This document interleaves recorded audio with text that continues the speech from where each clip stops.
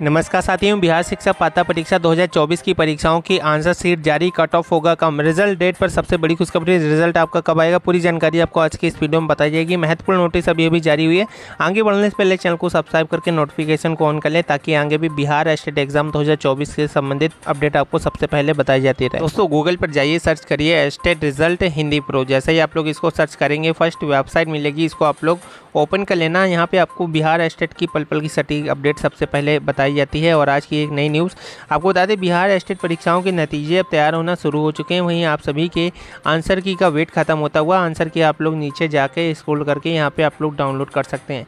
Update बताई जा रही है कि बिहार स्टेट के नतीजों को अब अब जुलाई में जारी किया जाने वाला है और आप सभी की कट ऑफ़ इस बार कम रहने वाली है। आपको बता दें, जितनी भी तारीखों में परीक्षाएँ पोस्टपोन की गई थी, उन सभी को अब आगे आने वाले हफ़्ते के भीतर करवाया जाएगा।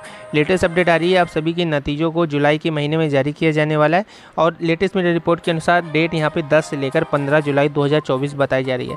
लेटेस्ट मीडिया रिपोर्ट के अनुसार बिहार में जो है B P S C T R E four point zero का भी यहाँ पे अब जो है विज्ञापन जल्द ही जारी होने वाला है। वहीं बिहार स्टेट के एग्ज़ामों के रिज़ल्ट भी आप लोगों को जुलाई में देखने को मिलने वाला है। इस बार कट ऑफ़ बहुत ही ज़्यादा कम रहने वाला है। जो अपडेट आ रही बताया जा रही है, इस बार कट ऑफ़ काफ़ी ज़्यादा गिरने वाला है। आगे